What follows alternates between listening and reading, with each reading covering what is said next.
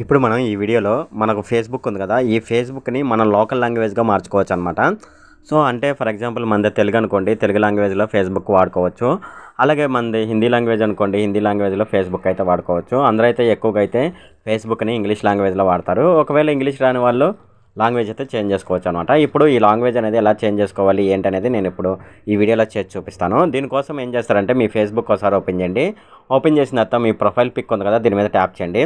Tap చేసి ఇలా క్రిందకు వచ్చినప్పుడు ఇక్కడ సెట్టింగ్స్ అని ఉంది కదా. సెట్టింగ్స్ అండ్ ప్రైవసీ దీని మీద ఒకసారి ట్యాప్ చేయండి. ట్యాప్ చేసినప్పుడు ఇక్కడ లాంగ్వేజ్ అని ఉంది. లాంగ్వేజ్ మీద సెలెక్ట్ చేయండి.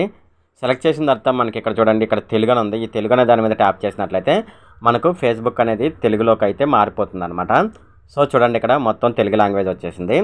ఒకవేళ మనకి ఇది వద్దు మళ్ళీ ఇంగ్లీష్లో మార్చుకోవాలంటే మళ్ళీ సెట్టింగ్స్ అండ్ గోప్యత అని ఉంది చూడండి. లాస్ట్లో చివరిలో దీని మీద ఒకసారి ట్యాప్ చేయండి.